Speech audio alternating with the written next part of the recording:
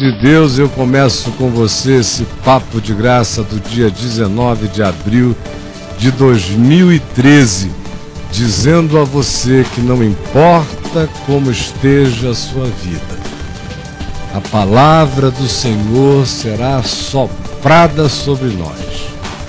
E mesmo que a sua existência esteja como um vale de ossos secos, a vida de Deus nele ressuscitará. Veja lá.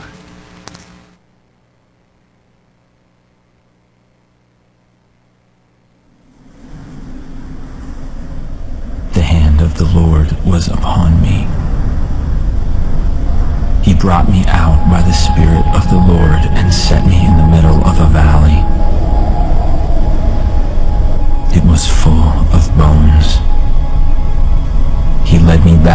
forth among them, and I saw a great many bones on the floor of the valley. He asked me, Son of man, can these bones live? I said, O sovereign Lord, you alone know.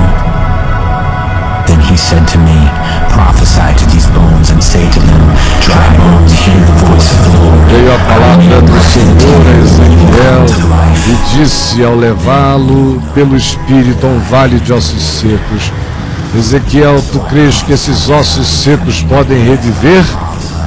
E Ezequiel disse: Senhor Deus, tu o sabes. Então o Senhor lhe disse: Profetiza esses ossos secos, ó Ezequiel, e fala aos ossos secos. Ouvi a palavra do Senhor. Então Ezequiel viu que osso a osso, o vale foi encontrando cada osso, o seu próprio corpo.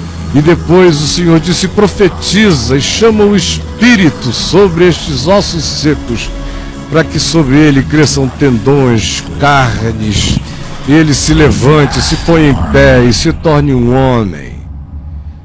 Assim é a minha esperança, dada a todo aquele que crê em mim, diz o Senhor.